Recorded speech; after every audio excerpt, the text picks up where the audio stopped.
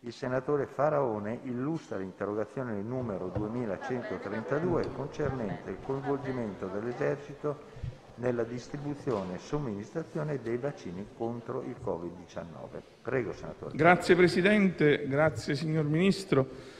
Lo diciamo da mesi che lo strumento più efficace per sconfiggere questo maledetto virus è eh, riuscire a superare questa emergenza sanitaria per riprenderci da questa terribile crisi economica è il vaccino.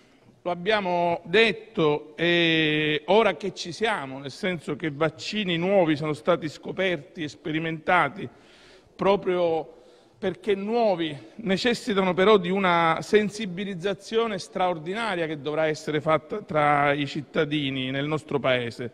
Dovrà essere ancora più efficace per superare una vergognosa costante e continua eh, campagna dei Novax contro questo strumento.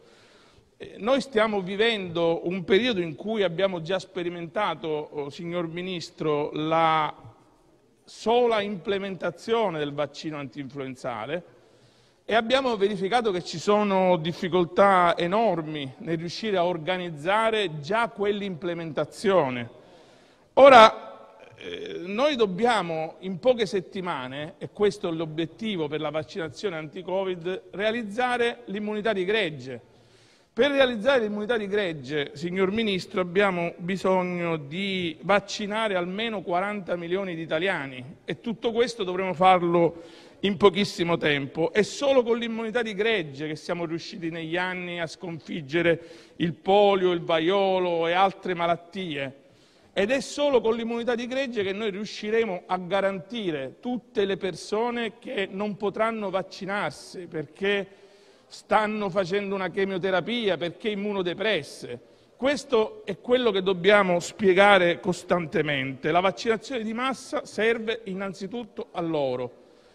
Ora, naturalmente per fare tutto questo, vaccinare 40 milioni di italiani almeno in poche settimane, c'è bisogno di un impegno straordinario e non possiamo affidarci soltanto a quelli a cui ci siamo affidati per la vaccinazione antinfluenzale, ASL e medici di base.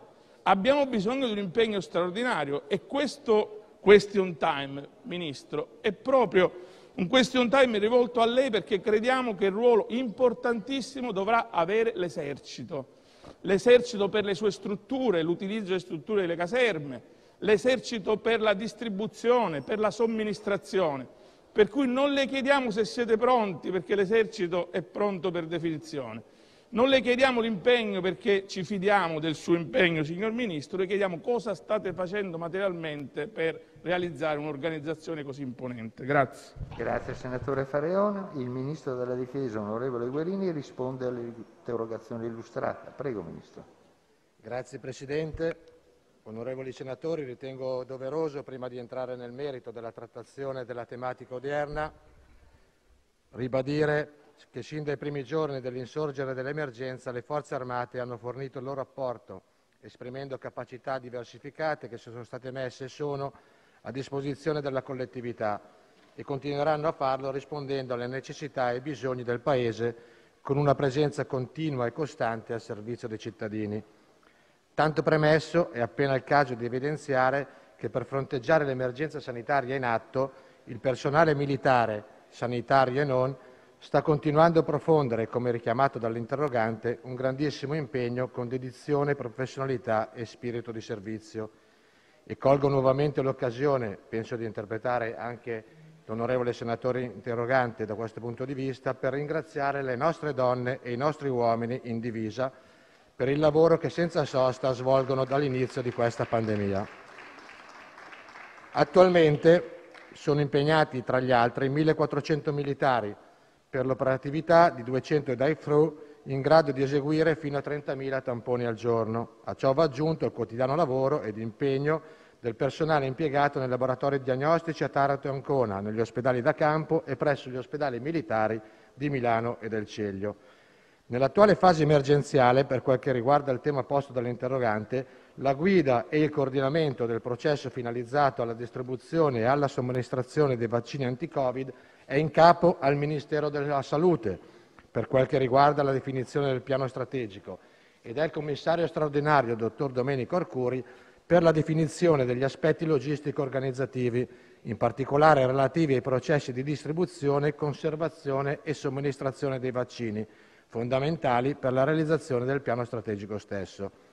La Difesa partecipa, fin dalla sua costituzione, al gruppo di lavoro intersettoriale del Ministero della Salute su vaccini e vaccinazioni anti-Covid-19, istituito con decreto direttoriale del 4 novembre 2020 e lavora stabilmente con il commissario straordinario che, ad esempio, proprio questa mattina sta incontrando il comandante del Comando operativo interforze, sotto la cui direzione ricadono tutte le missioni della Difesa, tra cui anche quelle relative all'emergenza sanitaria in corso. In tale quadro di coordinamento la Difesa, come ha sempre fatto dall'inizio della pandemia, fornisce e fornirà tutto il supporto richiesto dalle autorità predisposte in termini di concorso delle Forze armate alla distribuzione e alla somministrazione del vaccino alla popolazione italiana.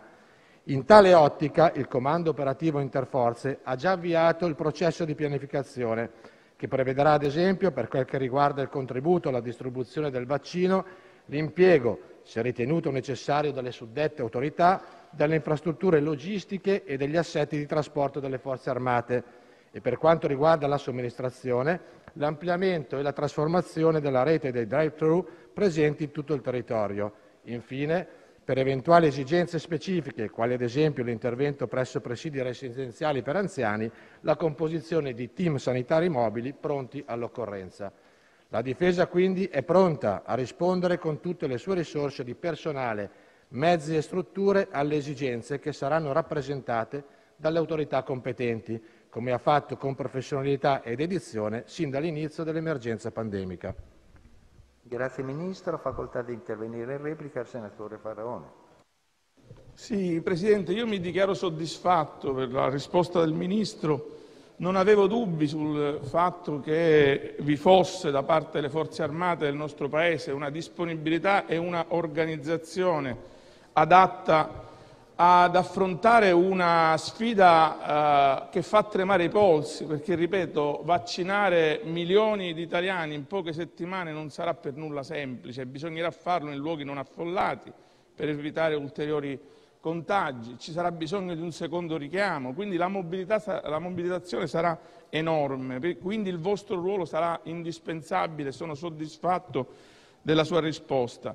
Naturalmente noi tutto questo lo dobbiamo a chi non si potrà vaccinare, eh, signor Ministro, perché noi, molti di noi possono scegliere se vaccinarsi o meno.